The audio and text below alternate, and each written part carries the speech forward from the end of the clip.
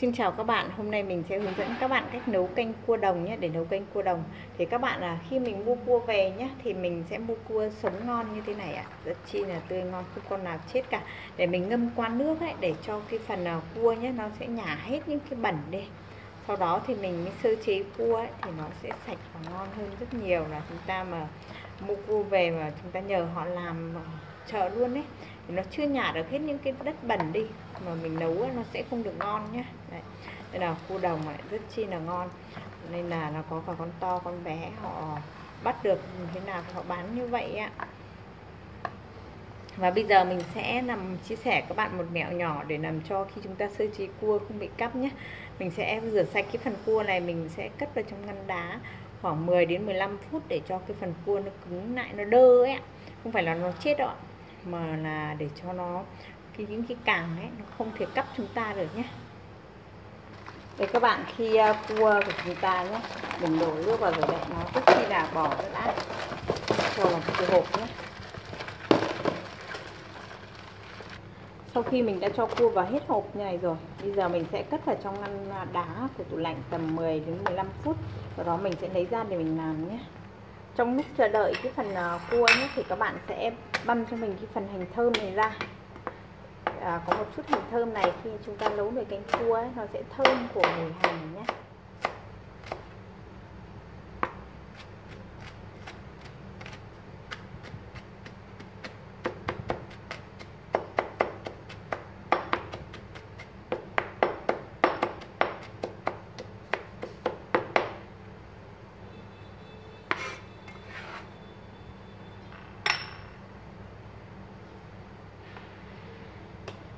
chua các bạn cũng thái ra cho mình nhé.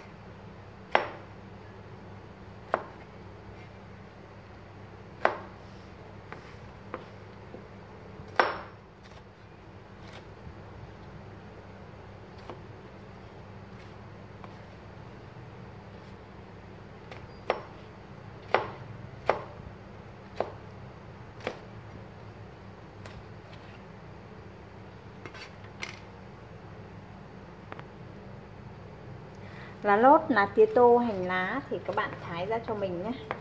Phần là rau thơm này. Về món canh cua này hôm nay mình không nấu với à, mùng tơi hay là mướp nhé. Thì mình sẽ cho cái phần rau thơm này vào nhiều cho nó thơm ngon nhé.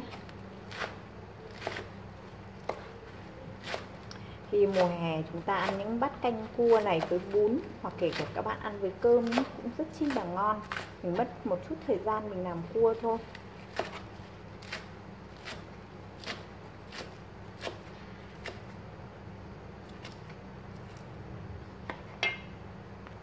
Sau khi phần cua mình để được 15 phút các bạn nhé. Và bây giờ mình sẽ lấy ra. Đây ạ. À, phần cua nó đã cứng đơ như thế này nhé. Và bây giờ mình sẽ xé phần cua ra để mình nấu canh cua nhé. Thì uh, nó đã cứng đơ như này. Thì uh, chúng ta phải xé nhanh không có là nó sẽ sống trở lại đấy ạ. Và nó sẽ cắp mình nhé. Khi mình làm ấy, nó sẽ không được đấy. Đấy các bạn xé cái phần mang lên cho mình như vậy nhé.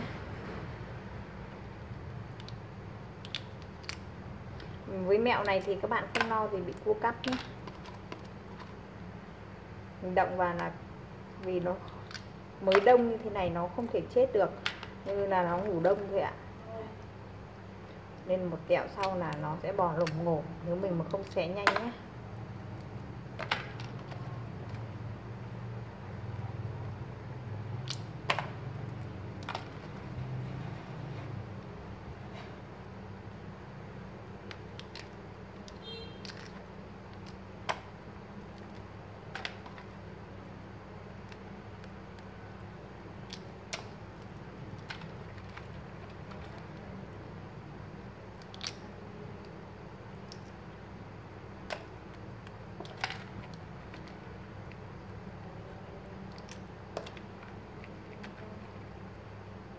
Thấy bắt đầu nó bò đấy các bạn ạ. Khi nó ra ngoài trời ấy, nó nóng lên một chút là nó sẽ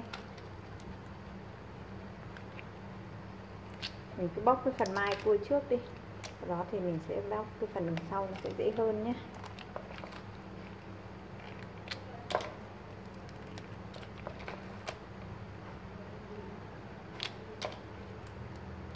Bây giờ bắt đầu cua nó lại sống lại dần đấy nó hết đơ cái này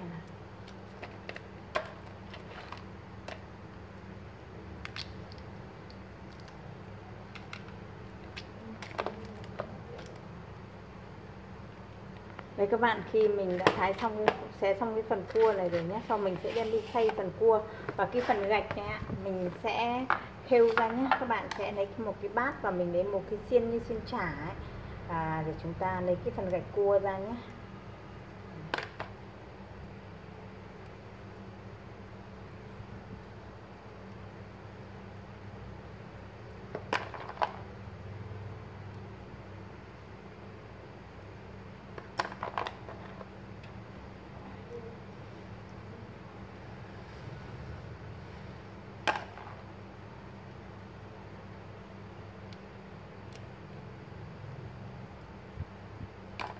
Bạn khêu hết cái phần gạch cua này ra cho mình nhé.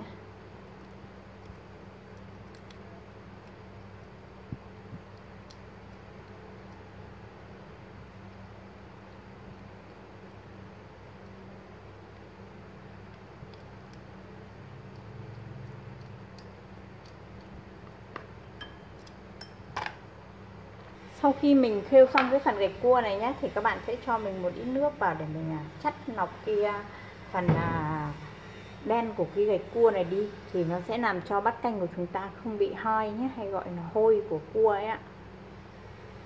Đây mình chất bỏ nước đi rồi nhé. Mình sẽ cho cua vào cối này để mình xay nhé.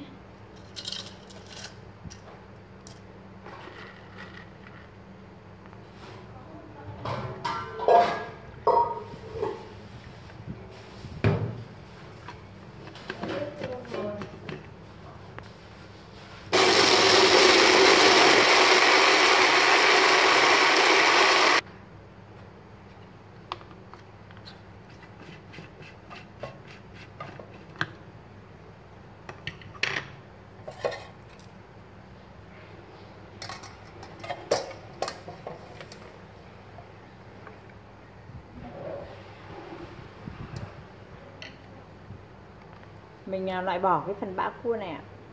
Các bạn là cho cho mình cái nồi à, nước cua mình à, đun lên nhé để cho nó chín phần à, cái nước cua này ạ. Các bạn dán cho mình một thìa đậu để mình làm bánh đa cua luôn ạ. Mình à, mình cho nước vào đây để mình ngâm cái phần bánh đa này các bạn nhé. Để cho cái phần bánh đa này nó mềm ra.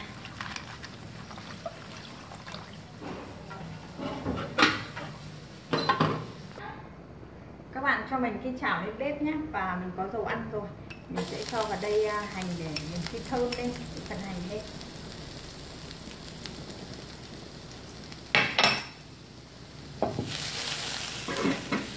Khi thơm hành để mình à, xào cái phần gạch cua nhé. Bạn cho mình à, gạch cua vào.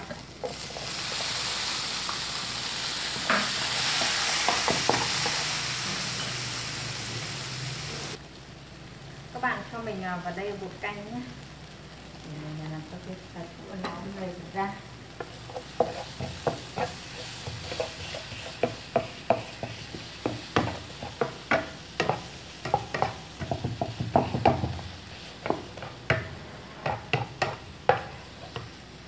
Và cái phần gạch cua mình cho vào mình xào lên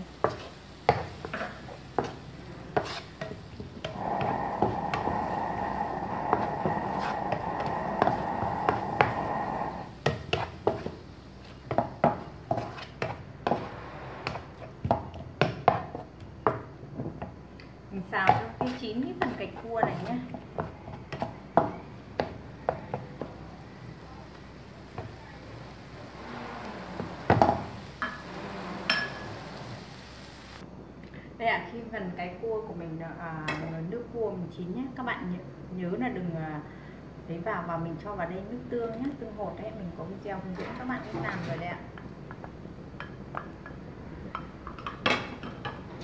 Và mình cho gia vị vào nữa nhé để cho nó vừa nhé canh các bạn cho mình.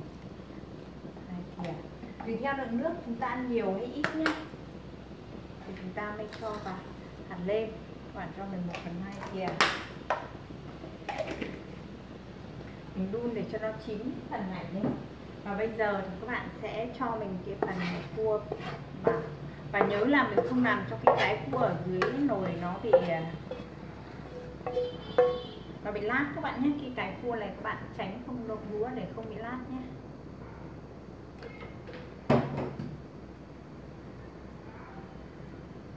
Đây ạ à, khi cái nồi canh cua của mình đã chín nhé thì các bạn kiểm tra xem vừa chưa nhé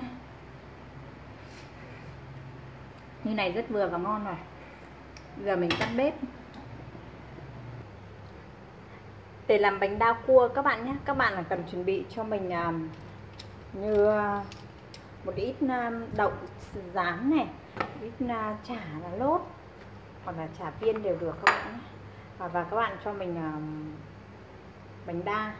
Mình đã làm sẵn rồi đấy ạ. Bánh đa này thì chúng ta chỉ cần ngâm qua nước thôi là chúng ta có thể dùng được mình cho phần bánh đa vào đây.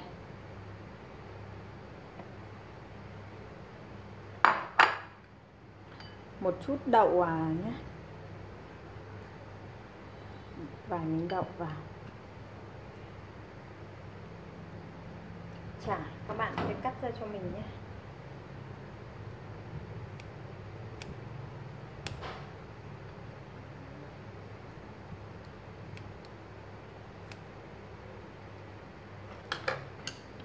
Một à, ít rau thơm nữa.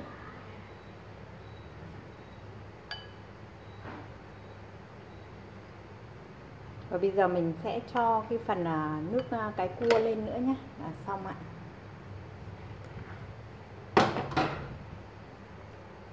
Bây giờ các bạn là dưới cho mình à, cái phần à, nước cái cua này lên nữa nhé là mình đã xong cái món à, bánh đa cua đấy ạ. Các bạn có thể làm cho gia đình nhà mình thưởng thức nhé. Rất chi là ngon dễ làm và dễ ăn ạ.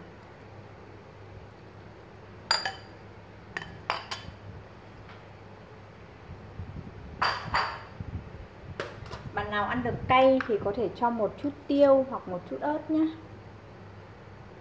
Mình có thể cho một chút tiêu hoặc một chút ớt và tùy theo. Đấy, một chút tiêu.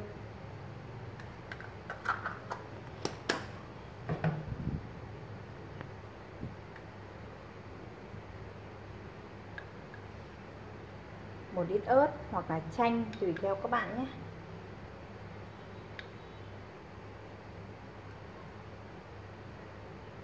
Đây các bạn có thể vắt một chút nước cốt chanh vào bát bún này nữa nhé. Rất chi là ngon luôn. Đấy, là bát bánh đa cua của mình đã xong rồi đấy ạ. Như vậy là mình đã hướng dẫn các bạn cách làm món bánh đa cua đồng nhé. Rất chi là ngon và dễ làm, dễ ăn. Chúc các bạn và gia đình có một món ăn ngon. Hẹn gặp lại các bạn ở các video tiếp theo của mình. Các bạn thích hãy like, chia sẻ và đăng ký kênh giúp mình nhé.